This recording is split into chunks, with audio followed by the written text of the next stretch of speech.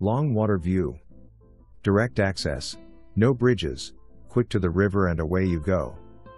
Best location to build your waterfront dream home.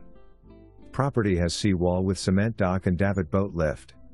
Impact fee paid. Previous home has been demolished.